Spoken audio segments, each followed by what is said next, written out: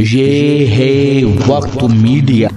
आइए आपको ले चलते हैं हिंदुस्तान के सूबे उत्तर प्रदेश के जिला सहारनपुर के देवबंद के करीबी गाँव सांपला बक्काल में, जहाँ 1 मार्च 2022 को मदरसा दारुल उलूम रहीमिया में एक अजीमुशान इजलास आम व दस्तारबंदी हुफाज कराम मुनद किया गया, जिसकी सदारत आशिक कुरान हज़रत कारी, मोहम्मद इकराम साहब, मोहतमिम मदरसा सिद्दीकिया नलेड़ा ने फरमाई। और मेहमान खसूसी के तौर पर हज़रत मौलाना मुफ्ती मोहम्मद रईस साहब, सदर जमीयत उलमाए हिंद, देहरादून, व मौलाना मोहम्मद जमशेद साहब, मोहतमिम जामिया इस्लामिया रेड़ी, ताजपुरा भी जलवा अफरोज रहे। इस प्रोग्राम में अपनी निजामत के जौहर दिखाए। हज़रत मौलाना कलीमुज्जमा साहब ने मदरसा हाजा के सदर हैं, हाजी मोहम्मद इकबाल साहब। इस प्रोग्राम के कन्वीनर रहे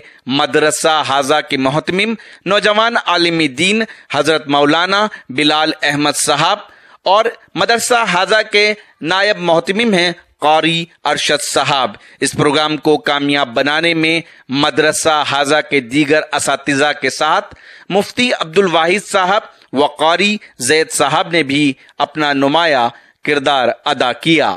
हम शुक्रिया अदा करते हैं मौलाना मोहम्मद अहमद राज की रीढ़ी ताजपुरा वालों का, जिनकी दावत पर वक्त मीडिया की टीम ने ये प्रोग्राम कवर किया। मैं दावत स्टेज दे रहा हूँ। एक छोटी सी बच्ची है वसीआ बिनते तनवीर अहमद। ये आए और तिलावत कलामुल्ला पेश करे। वसीआ बिनते तनवीर अहमद।